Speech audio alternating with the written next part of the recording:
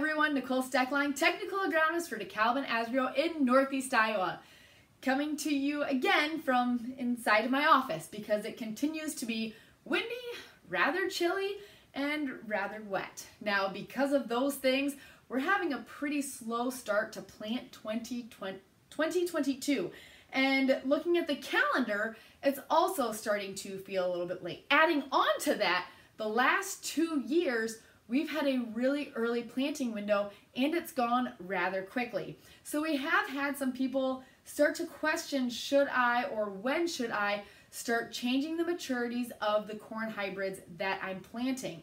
Adding on to a little bit of that nervous feeling is the fact that the last couple years we have seen a great response to pushing the maturities later. So I think that's making some people a little bit more nervous. On top of that, um, so I want to talk about when do we st start thinking about switching maturities, but I also want to look at the soybeans a little bit. Now, the last two years, again, we've continued to trend towards planting soybeans before corn because the conditions were good for planting, but we were still nervous about putting corn in the ground, so we've started putting beans in, and then we can focus on the corn. So I want to look at when do we abandon our plan of beans first, and do we start focusing on getting the corn in and then go back to the bean. So let's discuss. So what we have here is a chart that's showing us the dollars and cents of making these maturity shifts. So along this axis here, we have return per acre because this is a financial decision.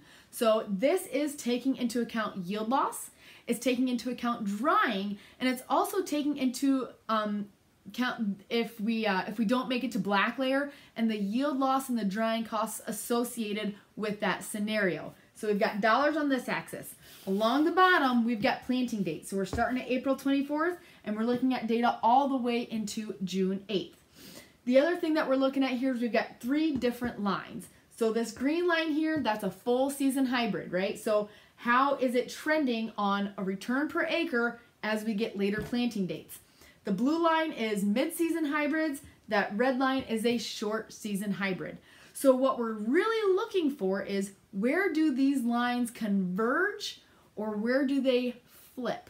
So obviously if we have a good planting date, I mean this is why the trend has been to plant fuller season corn is because it is going to give us a better return, especially if we have a good planting date. Now as planting date starts to get later and later, we start losing some of the benefit of a full season corn. But the date at which you should think about switching is probably later than you think because we don't see these lines converge until May 24th and about that time frame.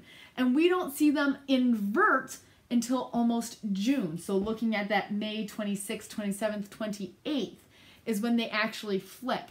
At that point, the end of May is when we should start thinking of switching from a full season to a mid-season hybrid.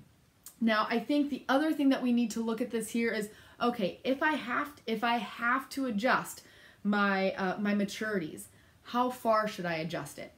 And I want to point out at the end here, at no point do you see either of these two lines below the red. So if we are looking at shifting maturities, Let's only shift a couple of days. Don't completely upset the apple cart and go 10 days earlier. A, because those hybrids are probably not going to be adapted to your geography. And then not only that, but the return simply is not going to be there. Now we need to de determine crop priority. Do we continue with the early soybeans even though we aren't really early planting yet? Or do we abandon the beans first attitude now and go and prioritize our corn? Or are we missing out on, on all that extra yield potential from getting our beans in the ground on time? So let's first look at the breakdown of where you're living at. So this is the optimum corn planting date map put out by Iowa State University Extension. Um, that north central to northeast Iowa, optimum corn planting date, April 12th to the 13th northwest to central Iowa to east central Iowa, April 15th to May 9th. And then you get that bottom tier of Iowa, April 17th to May 8th. Now, I know it seems a little bit backwards. You would think that, you know, the further north you go, the, the later you would get those optimum planting dates.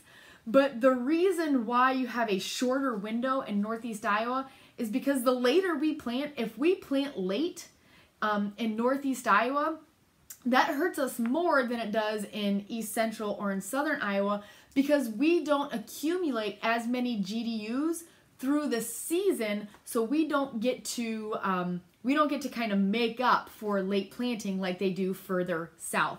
So getting it planted in in a good time is more important the further north you go. So those are our optimum planting dates.